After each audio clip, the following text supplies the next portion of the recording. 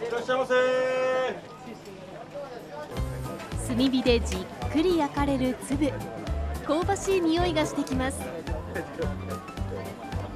7月札幌のイベントに美味しいお酒に合う自慢の食が全道から集まりました。人だかりができていたのは釧路から来た粒の店。香りと豪快さに誘われたのか次々と売れていきます。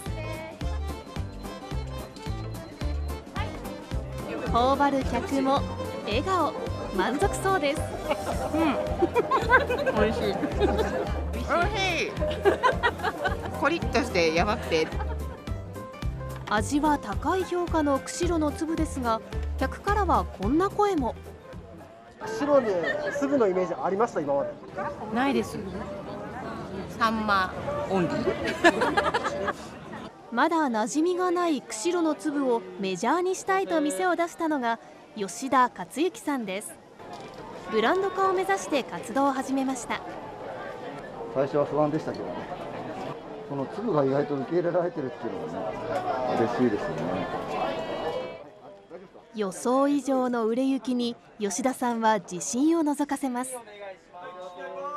ブランドが立ち上がってるんですねたくさんの方々にあの粒っていうのと釧路が結びついたっていうのに関しては本当最高のスタートだったかなというふうに思ってます。コリコリした食感で刺身が人気の粒。釧路ブランドを狙うのは理由がありました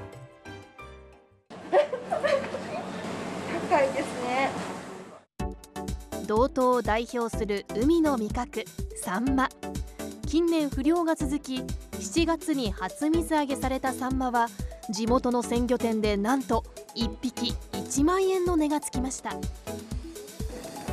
もう一つの代表格鮭も年々量が落ち込んでいく中去年は赤潮が襲い多くの鮭が死ぬ事態に。クラが高騰するなど大きな影響が出ました。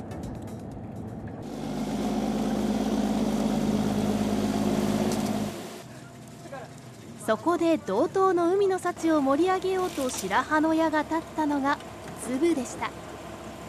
サンマや鮭は漁獲量が大きく落ち込んでいますが粒漁は毎年安定した量が水揚げされていますずーっと同じぐらいの金額は上がる水揚げは。じゃあ安定してると。安定してる。もちろん食べてもらいたいでし。ょ美味しいでし。ょ粒の店として知られるのが釧路市の繁華街にある粒焼き角屋。56年間粒を焼き続けている老舗です味の秘密は56年間変わっていない秘伝のだし汁。醤油と砂糖で味付けしだしとなるのは昆布の根元の部分です。昆布だしでも一番根元の方がやっぱり強烈にたくさん出ますね。その割合はちょっと企業秘密なんで言えない。ボイルして下処理した厚岸産の青粒に秘伝のだし汁をたっぷり。味がしっかり染み込みます。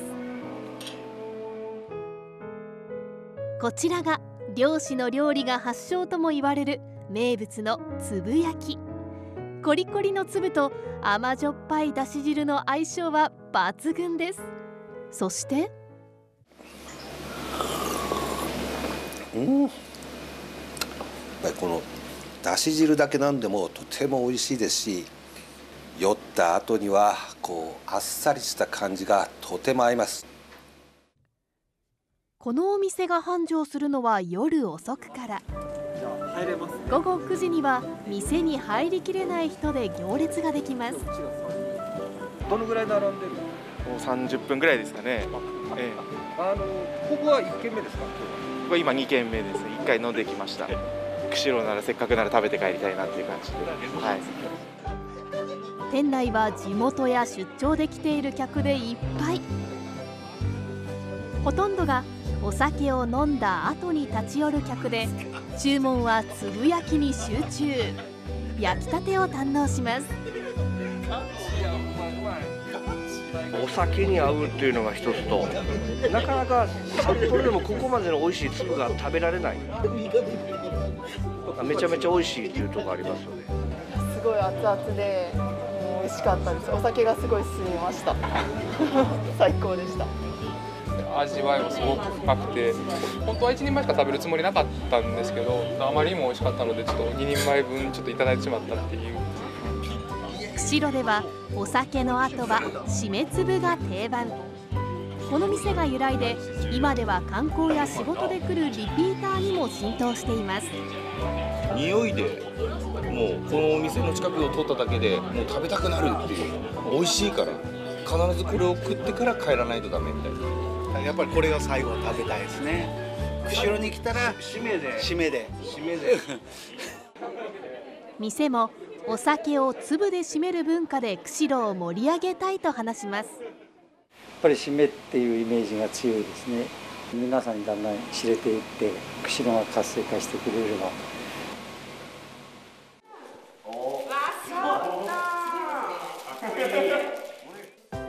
釧路の粒と独特の文化を広めたいと活動する吉田さんです。仲間を誘いつぶやきをつぶやこうの語呂合わせでチームハッシュタグつぶやき隊を結成。結束を深めようとオリジナルのユニークな T シャツも新調しました。粒を使った新メニューの開発にも着手。意外な組み合わせのコロッケには粒を丸ごと閉じ込めました。こちらは粒のカレー。ニンニクが効いたルーに柔らかい灯台粒を合わせました。この日は仲間と地元でのイベントの前に最終的な試食です、おいしい。粒コロッケはあまり釧路の中でもあのいただく機会が少ないので粒コロッケも美味しくておすすめです。美味しいですね。やっぱどれもはい。やっぱ粒の磯の香りと歯ごたえとホッキカレーに負けないカレーだと思いますね。はい。皆さんがどんな感想を持っていただけるかなっていうのはすごい楽しみですね。先月釧路市内でお酒を楽しむイベントが開かれました。ここで新メニューの粒コロッケが地元デビューです。粒コロッケ粒焼き揚げたてですよ。今一番美味しいです東京からはレシピを考案した高級フランス料理店のシェフも駆けつけました。食感と旨味がすごい凝縮されてて食べ噛めば噛むほどこう旨味が出てくる。それはすごいつここの釧路ならではのつぶ貝だと思います。つぶ貝が中に入ってるけど周りがふわっとしててサクサクっていう食感が口遊びっていうんですかね。それがとてもあっていい塩梅でこうできたので反響が大きく飛ぶように売れる粒コロッケ。粒の新しい食べ方に地元客の評判も上々です。粒が丸ごとゴロッと入っててで中もクリーミーですごく美味しいです。全然相性バッチリです。用意した100個の粒コロッケは1時間で完売。吉田さんも予想以上の売れ行きに手応えを感じています。釧路の粒貝をただ食べるというよりもですねやっぱりこの文化というものをあの発信してきたいたくさんの人が、えー、粒といえば釧路という街にしたい。海の幸の町釧路でも日の目を浴びてこなかった粒。新しい魅力を売り込む動きが始まっています。